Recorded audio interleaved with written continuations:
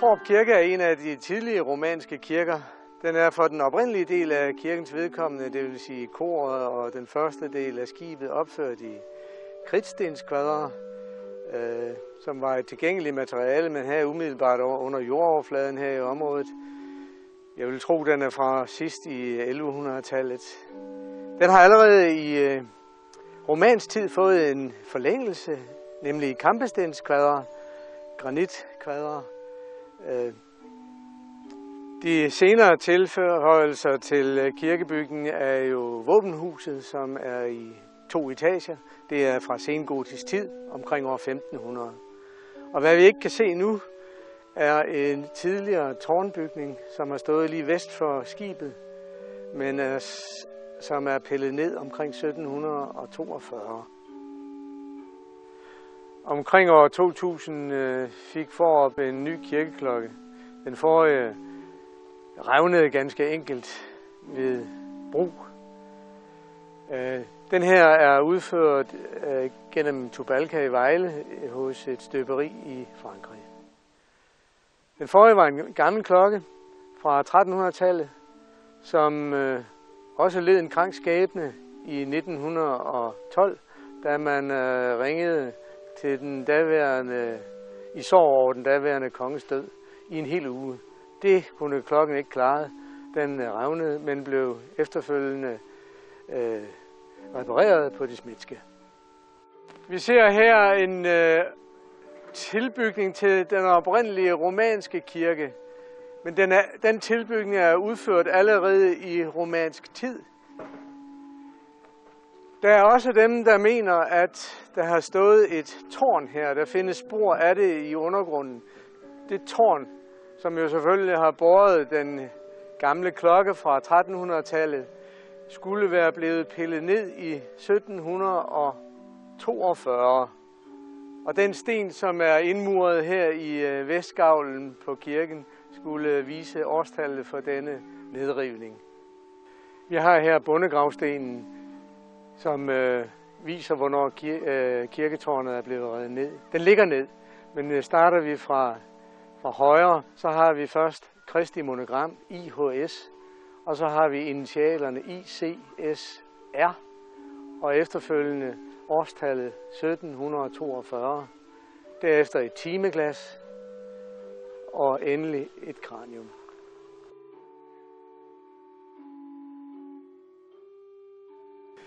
Vi står her ved mindestenen over første lærer Jes Våben ved Forup Kirke. Han var lærer her fra 1869 til 1914. Der går den historie om ham, han var jo også kirkesanger, at han øh, konkurrerede med den daværende sovnepræst øh, Daniel Flø, Josias Daniel Flø, om at komme ud til øh, de nyfødte børn og døbe dem, hjemmedøbe dem, inden sovnepræsten kom til på stedet.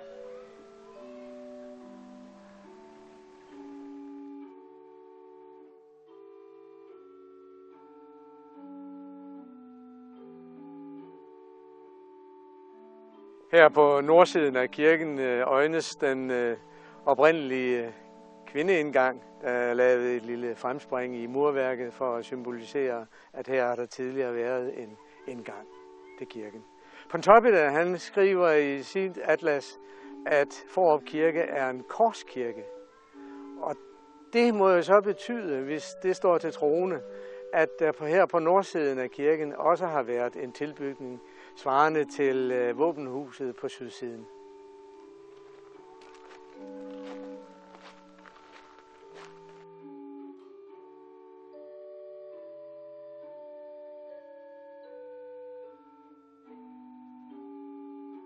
Jeg er en mindesten over tidligere sovnefod Søren Sneker Dyrby og hans elskede hustru Maren Louise Dyrby. De havde en gård lige neden for kirken her.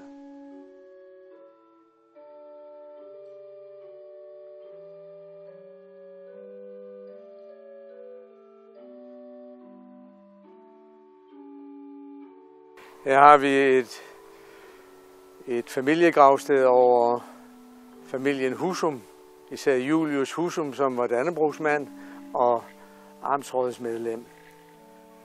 I 1917 blev der hentet en gravsten her til øh, Forop Kirkegård, som tidligere havde ligget på Glenstrup Kirkegård. Det var over hans familie.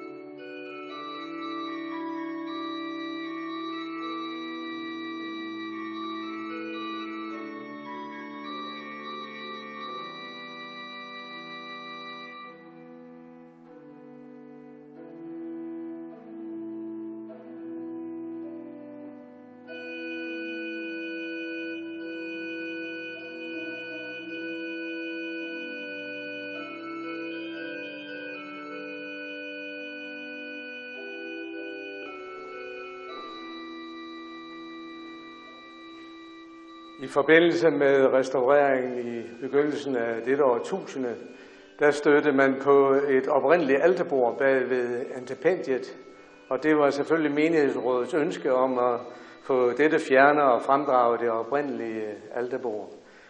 Det er opført i kridtstens kvadre frødsten.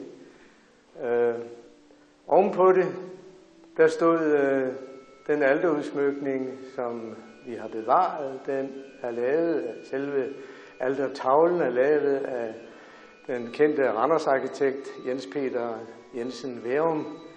Den er fra omkring 1901. Øh, billedet, det er en kopi af et Karl Bloch-billede. Karl Bloch øh, malede jo en del religiøse billeder til Frederik den 4. bedestol i Frederiksborg Slotskirke. Og dette opstandelsesbillede er et af dem. Øh, her dog uden de kendte engle fra, fra bedestolen. Liljerne er bevaret, liljerne som er symbol på opstandelsen. Og den er som sagt placeret i denne altertavle skåret af Værum, Jensen Værum, øh, som jo har lavet en del bygninger inde i Randers. Øh, jeg kan nævne Ridehuset, kasernen, øh, missionshuset, og altså så også en del altertavler rundt omkring. Her er, den er jo lavet i, i nyrenaissance-stil. To øh, joniske søjler. Øh, ovenpå har der været en trekantet tympanon, som øh, efterfølgende er pillet ned af ukendte årsager.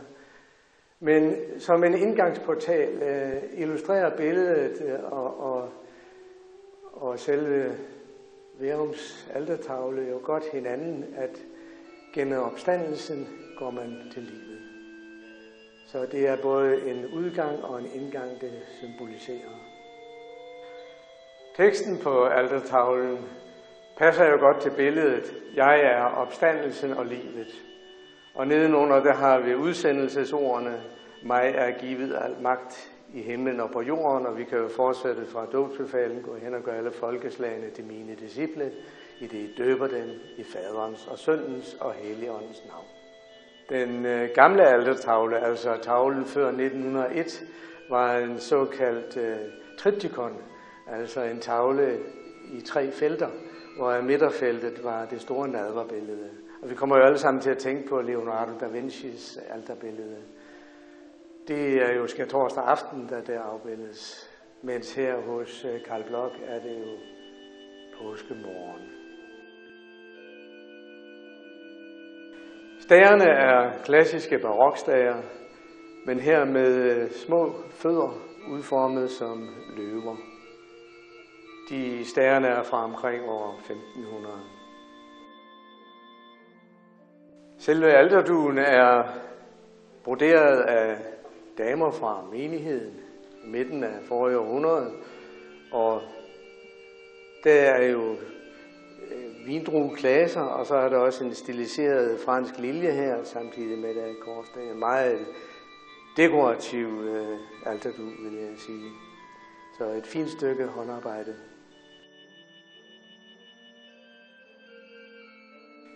Her i kirken i kirkens triumfmur, har vi de ældste kalkmalerier, nemlig fra 1225 cirka. Tre medaljoner, nemlig Kristus, lammet, det er Guds lam, som bærer alverdens synd. Og så har vi herover øh, Abel, den der gav sit ubesmittede offer, står der på latin. Og på den anden side har vi Kain, den skyldige i brodermordet, igen på latin. Døbefonden er en romansk fond i granit, udformet til total neddykning af barnet. Omkring øh, døbefonden er der stiliserede franske liljer, og på den måde er der en klar forbindelse mellem dåbens øh, ritual, dåbens sakramente og nadvarens sakramente, nemlig liljerne, som, op, som symbol på opstandelsen. Barnet opstår til et nyt liv gennem dåben. Og i efterfølgende periode fra cirka år 1575, der blev det almindeligt at indføre dåbsfade i stedet for neddykning. Og i det dåbsfad, vi har her i øh, kirken, er det ligesom i så mange andre kirker, Maria bebudelse, sådan at ved de tre håndfulde vand, der lyder det samme ord, at ånden skal blive nærværende hos barnet. Som det hedder i en øh, salme, nu kom der bud fra englekor, at barnet må åndelig undfange Kristus. Dåbsfadet er jo et sydtysk øh, fad med Maria bebudelse.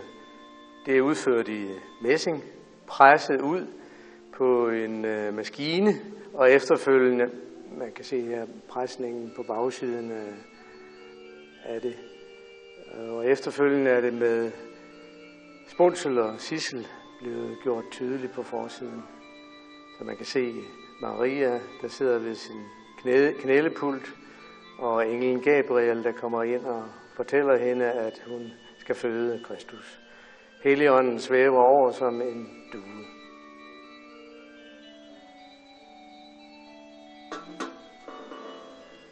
Prædikestolen er et stykke renaissancearbejde fra 1634, som Nationalmuseet daterer den til. Den er med samtidig lydhimmel den er med dansk indskrift, og vi er jo også 100 år efter reformationen.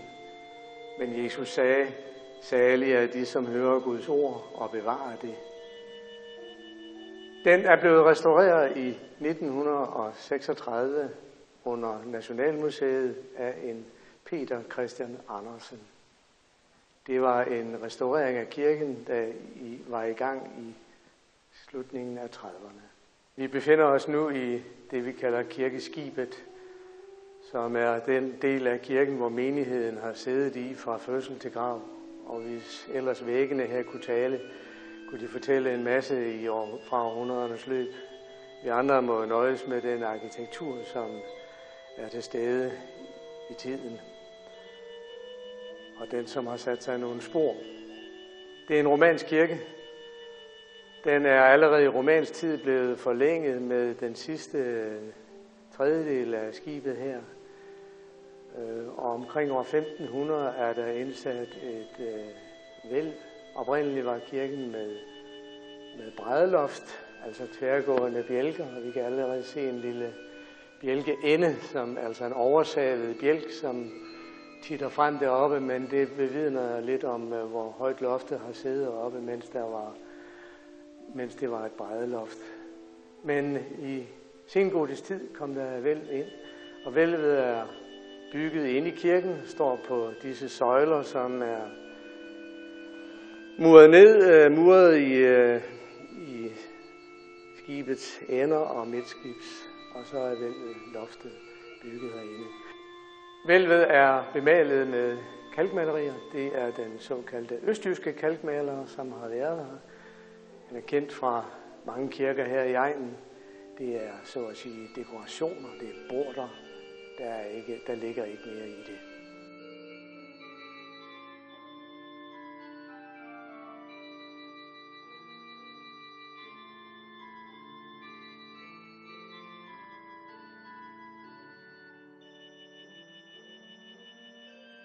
Kirkebænkene stammer fra 1937 i forbindelse med den daværende restaurering. De forhenværende kirkebænke var af en enorm størrelse og højde, sådan at de har føltes meget bombastiske herinde i skibet. Præsten, når han har stået op for alderet og set den, har han kun kunne se den øverste del af, af menighedens ansigter. Nu er man, kan man sige, næsten gået i den modsatte grøft og fået nogle bænke, som er øh, meget lille. Det interessante ved dem er, det er alle navnene, som øh, står her på dem. Når folk kommer og spørger, så undrer de sig over, om vi har så mange adelige her i Foropsovn. Det har vi ikke, kan jeg sige. Nej, det er navnene på alle salmebogens, øh, salmernes forfatter i vores danske salmebog. Kirkeskibet er udført af en lokal kunstner, Morup Rasmussen, og han har skænket det til kirken i 1929. Det er en fuldrækker.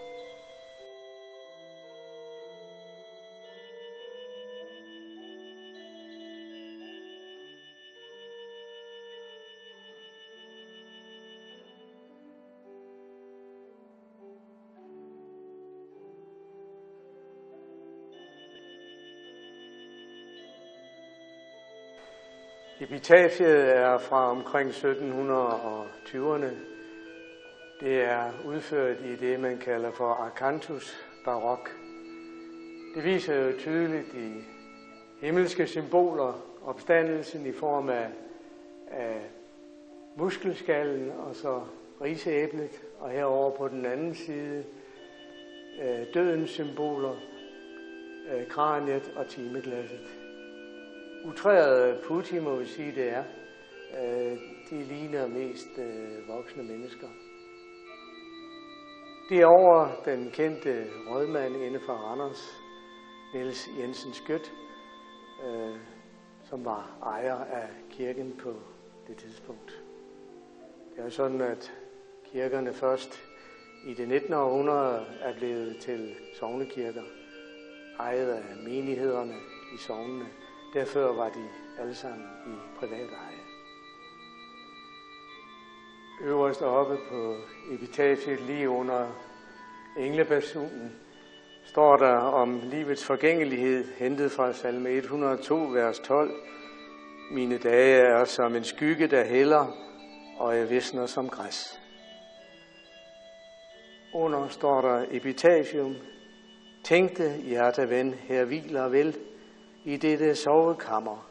Den mand, som gjorde ret og skæld, uagte verdens klammer. Vil du nu vide, hvor han var, der se hans ære støtte. Den skal der give dette svar.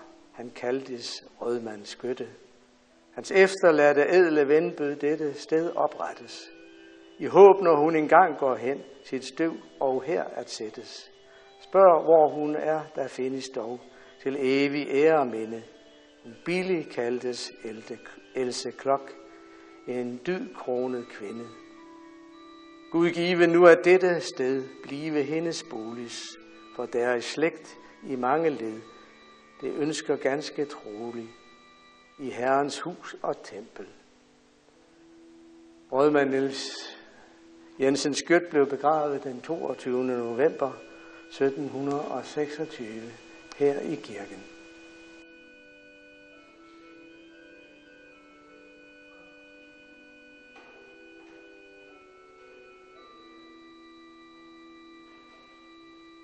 Aarhus er fra 2005. Det er et Frobenius Aarhus på 13 stemmer, to manualer og pedal. Det erstatter et Aarhus fra et Margård Aarhus fra 1880'erne, øh, som blev opstillet her i kirken i forbindelse med restaureringen i 1937. Det gamle Aarhus befinder sig nu på Stiftsmuseet i Viborg.